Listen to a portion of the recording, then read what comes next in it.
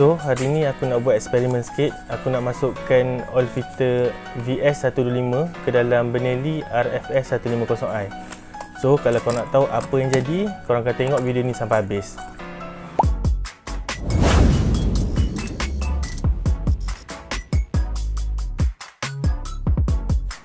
Assalamualaikum. Selamat datang ke channel aku. Jangan lupa like, share dan subscribe tau. So hari ni seperti dalam tajuk Aku nak buat maintenance sikit untuk motor aku So, barang apa yang kita perlukan adalah Satu adalah T Set spana Penapis minyak Oil filter Dan minyak pilihan korang Okey, untuk pengetahuan korang Bahagian ni adalah bahagian untuk oil filter. So, kita akan masukkan oil filter ni ke dalam tu. So, first korang ambil korang punya spana 19mm Nampak ni tulis S19mm So, ambil spana tadi buka dia punya oil cap kita drainkan minyak lama dia dulu. Kalau boleh korang drain dia punya minyak sampai sekering yang boleh lah supaya dia tak bercampur dengan minyak yang baru. So ni dia punya oil cap. Korang pastikan dia punya spring dengan dia punya o-ring pada oil cap tu tak hilang eh. Supaya dia tak ada leaking lepas pasang nanti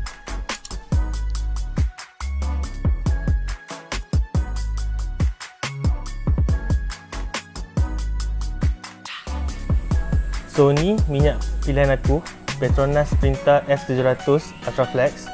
So minyak ni bagus untuk orang yang travel jauh macam aku.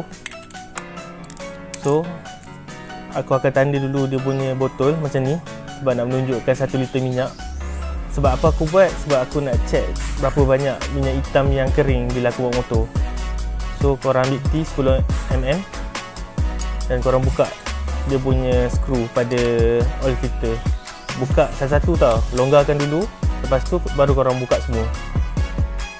So sebelum korang buka korang punya filter cap ni korang pastikan minyak hitam korang kering dulu supaya tak ada lebihan minyak yang keluar daripada kawasan oil filter ni. So ni cap dia. Dalam cap tu ada spring. Korang jangan bagi hilang spring ni sebab spring ni akan pegang korang punya oil filter bila motor korang berjalan. So ni adalah filter dia.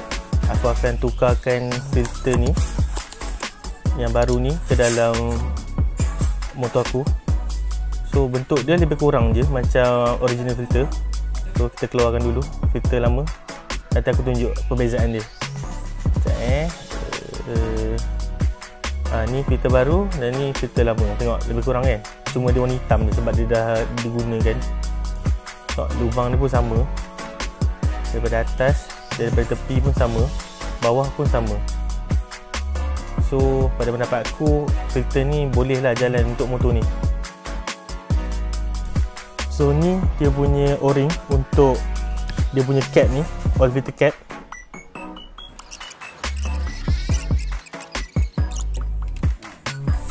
So sekarang kita masukkan oil filter dia. Pastikan lubang tu arah ke dalam Supaya oil filter tu dapat berfungsi dengan betul. Kebanyakan enjin yang jadi jam sebab dia punya oil filter tu terbalik dia tak boleh berfungsi dengan betul. So ni kita masukkan dia punya o-ring. Masukkan dia punya spring dekat tempat dia. So kita tutup dia punya oil filter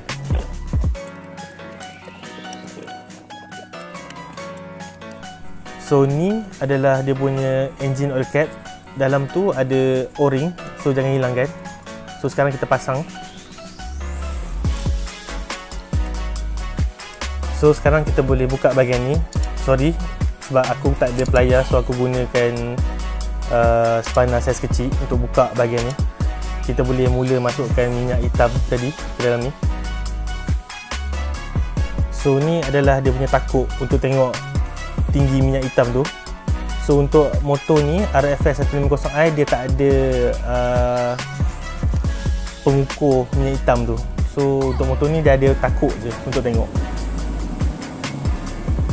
So lepas saya isi minyak korang boleh tengok takut tu ada minyak kan? Ha, So itulah cara nak tengok. So tadi aku ada tanda kan botol tu. Ha, Korang boleh tengok apa result dia. Macam aku, aku travel 2 bulan tak tukar minyak hitam Jauh. Dan korang boleh tengok dia punya minyak hitam tu turun Banyak. So kalau korang suka dengan konten video aku Jangan lupa like, share dan subscribe. Kita jumpa lagi di video akan datang. Assalamualaikum